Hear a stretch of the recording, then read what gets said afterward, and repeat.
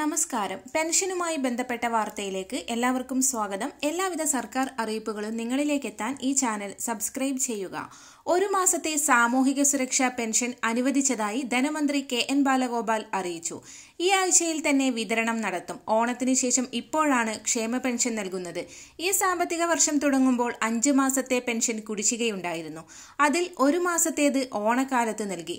ഒരു മാസത്തെ കുടിശ്ശിക ഇനി ഡിസംബറിൽ നൽകും. ശേഷിക്കുന്ന മൂന്ന് മാസത്തെ കുടിശ്ശിക അടുത്ത വർഷം നൽകും. അറുപത്തിരണ്ട് ലക്ഷത്തോളം പേർക്കാണ് ആയിരത്തി അറുന്നൂറ് രൂപ വീതം ലഭിക്കുക. മസ്റ്ററിംഗ് പൂർത്തിയാക്കിയിട്ടുള്ള എല്ലാ പെൻഷൻ ഗുണഭോക്താക്കൾക്കും ഈ ആഴ്ച തന്നെ ആയിരത്തി അറുന്നൂറ് രൂപ അക്കൗണ്ടുകളിലേക്കും കൈകളിലേക്കും എത്തിച്ചേരും. ഇതോടൊപ്പം തന്നെ നിർമ്മാണ തൊഴിലാളി ക്ഷേമനിധി പെൻഷന് പിന്നാലെ തയ്യൽ തൊഴിലാളി ക്ഷേമനിധി പെൻഷനിലും മാസങ്ങളുടെ കുടിശ്ശിക വരുത്തി സംസ്ഥാന സർക്കാർ.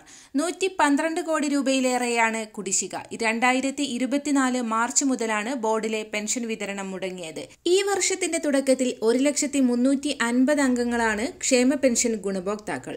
ഇവർക്ക് പ്രതിമാസം ക്ഷേമ പെൻഷനായി നൽകേണ്ടത് ആയിരത്തി അറുന്നൂറ് രൂപ വീതം. ബോർഡിൽ അംഗങ്ങളായവരിൽ നിന്ന് അംശാദായമായി പ്രതിമാസം അൻപത് രൂപ വീതം ഈടാക്കുന്നുമുണ്ട്.